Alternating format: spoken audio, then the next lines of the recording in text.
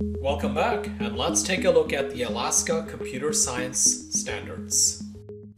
So, the state of Alaska, much like the rest of the country, started developing its computer science standards around 2018, 2019, 2020 timeframe or so.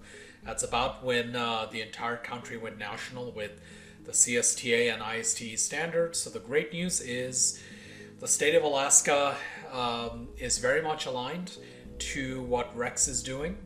So let's just quickly talk about their requirements.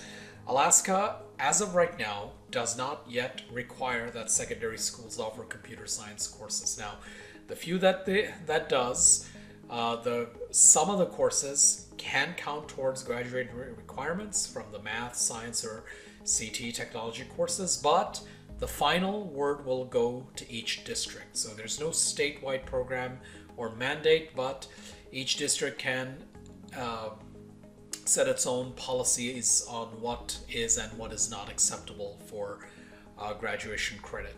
So this will be quite familiar to anyone who's seen the CSTA standards.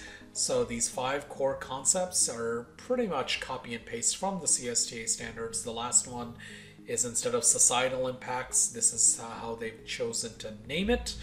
So from Rex Academy's side, our recommendations remain consistent. Again, the idea that we want to prepare these uh, students at the high school level for jobs and certifications outside of uh, uh, or careers after high school. So CS One, web design, IT fundamentals, the two AP courses, and cybersecurity all make their return and are all excellent and fit the narrative and the scope and sequence of these standards. Here's what we recommend in the middle school area, and here is what we recommend in the elementary area. Now, as always, we do want to take a quick look at the pathways, but again, they remain fairly consistent with what Rex Academy does. Anytime we see consistent CSTA standards, this simply does not change all that much. So finally, here are the uh, uh, certifications we are ready to recommend.